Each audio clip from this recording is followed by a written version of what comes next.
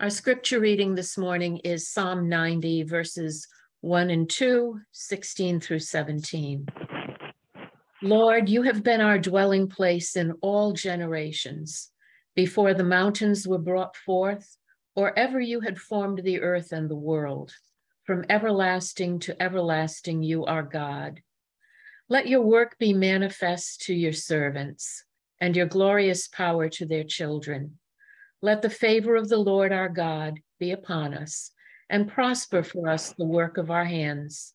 O prosper the work of our hands. Here ends the reading. Thank you.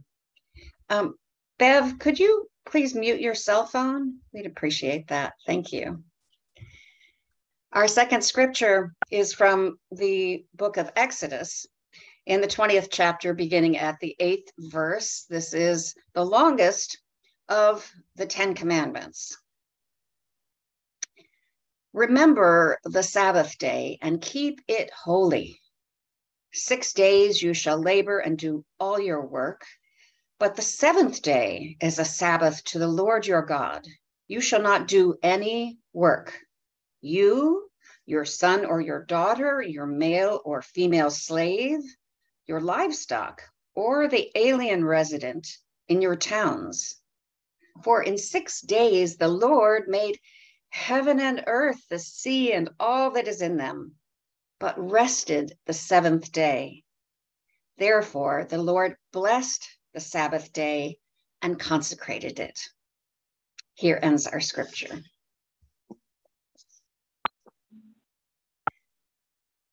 So I have preached about keeping the Sabbath and keeping it holy for many years, at least once a year in the 14 or 15 years since I was ordained. Now, this message has often been a reminder to the congregation and to myself that many of us have become enamored of work, grow up valuing work above most things, and find it difficult, if not impossible, to take a whole 24 hours off of work every week. Now, whether the work is in paid money or other rewards, many have learned to base our self worth on work. Activity that is creative, that produces something, or that ex- exercises our dominion or control over our environments.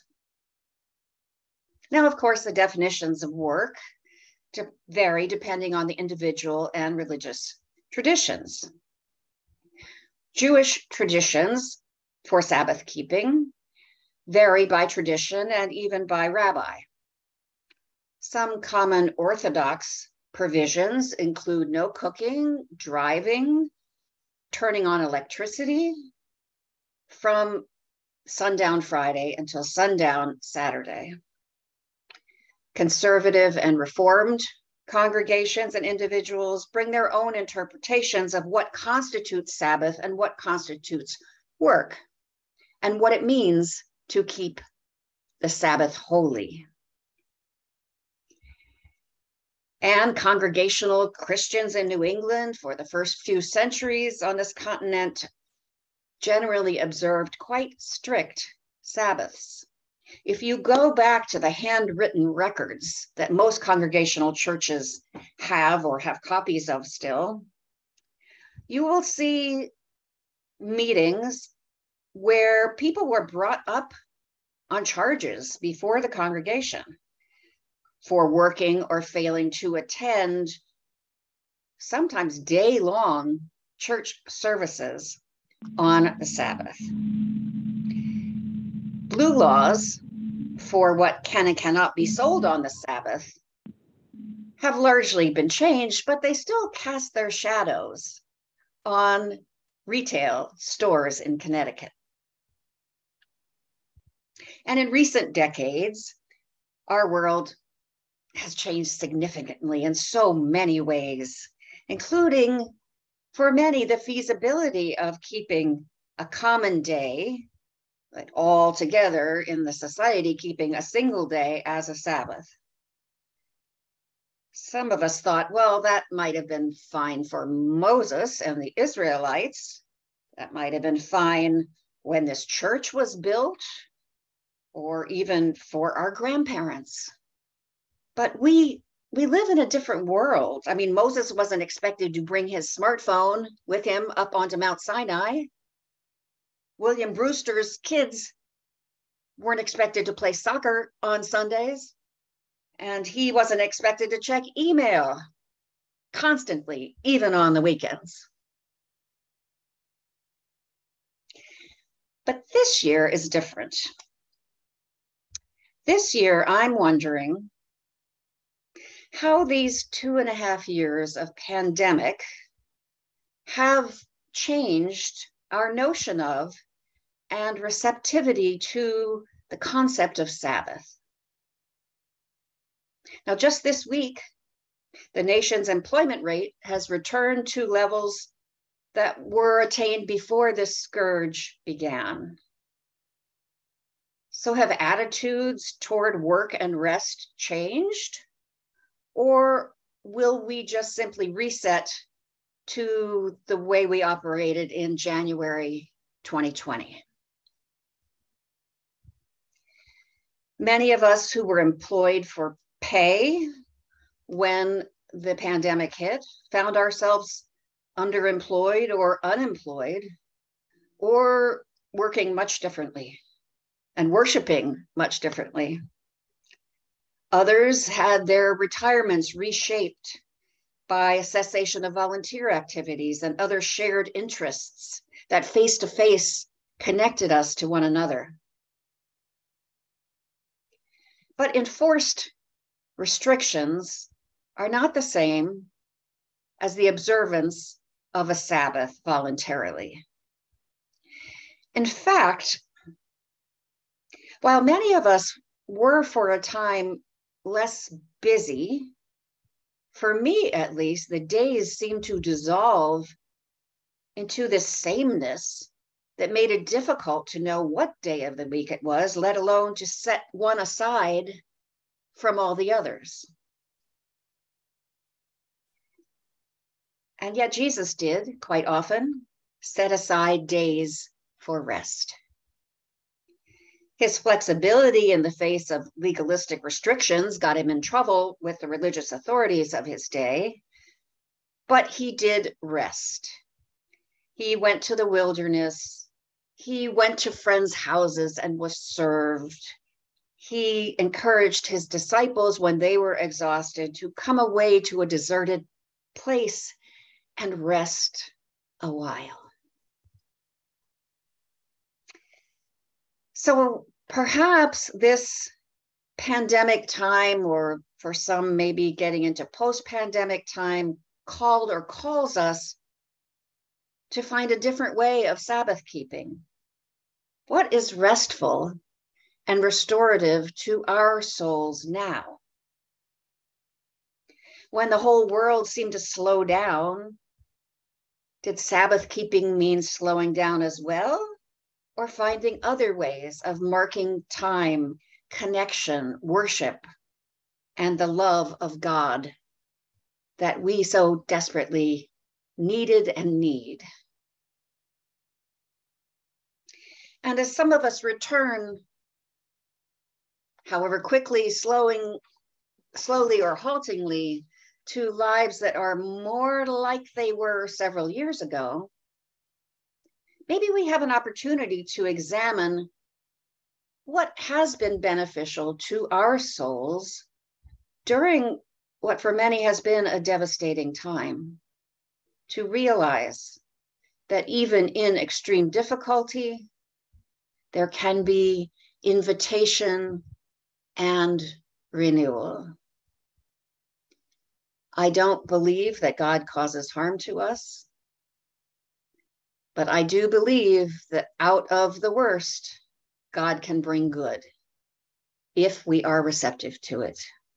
So, what good has come out of this time, and what do we have an opportunity to hold on to?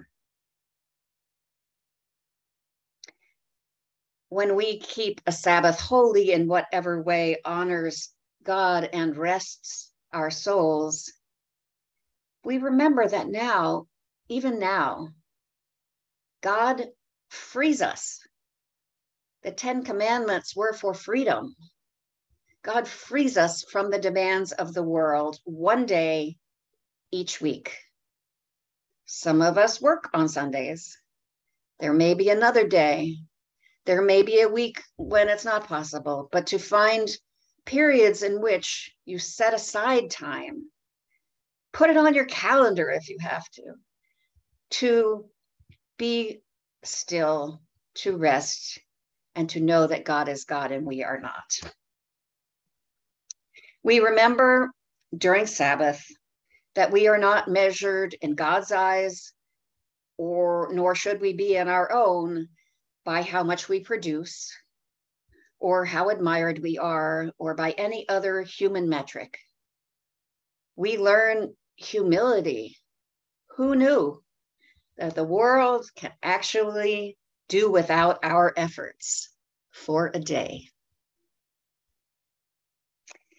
So, this commandment to remember the Sabbath and keep it holy, remember, it's a commandment not a recommendation, actually then becomes an invitation to freedom.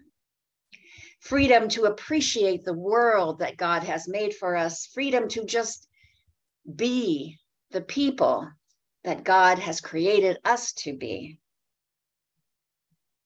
Maybe we'd like it better if we called it the fourth invitation, a personal invitation and this mid to late summer time, when our schedules are a little less crowded, perhaps, maybe this is the time to accept that and to really live into it and try it out. We have the freedom to accept it or not. The difference, the difference may be priceless. It may be timeless.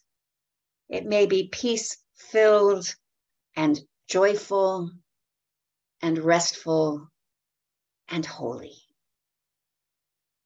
I wish it for you. I wish it for me. I wish it for all God's children.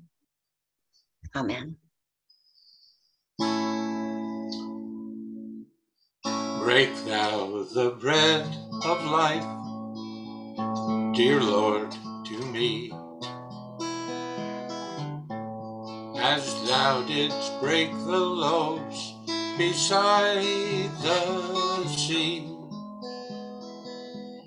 Beyond the sacred page, I seek thee, Lord. My spirit pants for thee, O living word. Bless thou the Spirit of truth, dear Lord, to me. As thou didst bless the bread by Galilee, then shall all bondage cease, all fetters fall and I shall find my peace, my all in all. Oh, send thy Spirit, Lord, now unto me. Touch thou my longing eyes, that I may see.